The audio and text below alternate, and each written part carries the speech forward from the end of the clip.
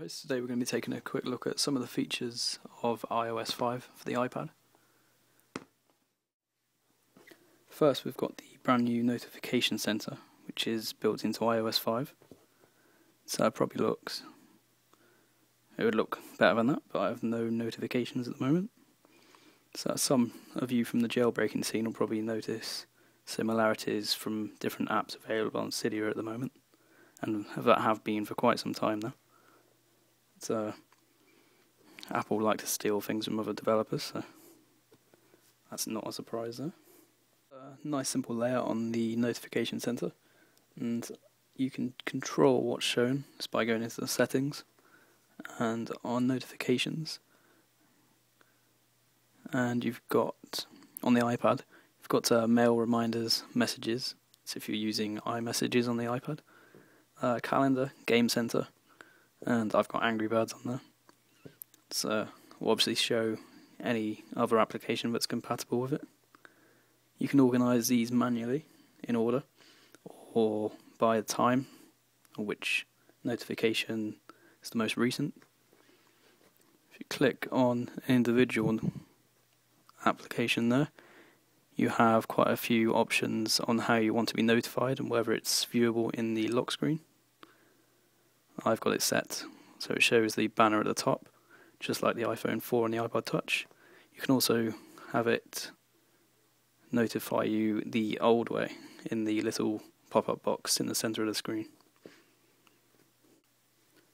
Everything in the notification seems to work really well both on my iPhone 4 and on the first gen first generation iPad.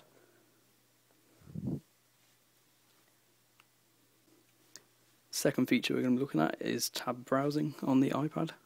It's uh, currently not available for iPhone or iPod Touch users, but someone, a developer on Cydia, will most likely create some tweak to enable it. As you can see, the tab bar just comes up at the top there. You click the arrow Let's create a new tab. And then if we're going to Google,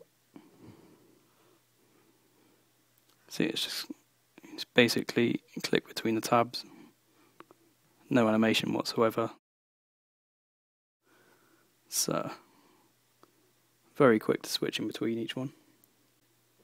I don't think it's a needed feature of iOS 5, but it does somewhat speed up the process of switching between tabs in Safari.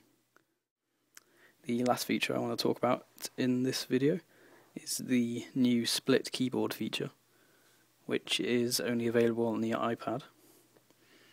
If we go into Notes,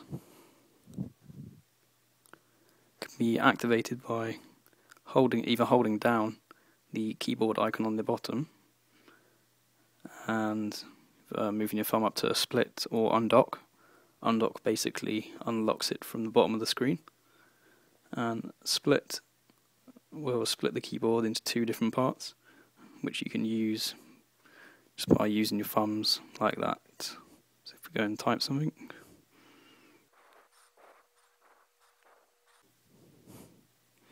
Obviously it's quite difficult to type when you're looking at the camera as well but so I got the got a similar feel to if you're using a mobile phone or using the keyboard on the iPhone. I did notice the other day a very similar feature which was announced in Windows 8 which they state that they thought up themselves. I'm not saying they didn't, but both keyboards, split keyboards, seem to be remarkably, remarkably similar in the way they work.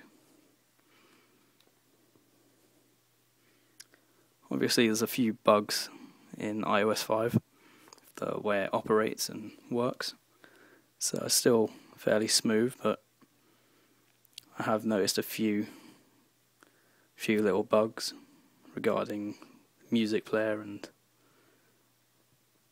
and the uh, draining of the battery life. That seems to go down slightly quicker than uh, iOS 4.3. I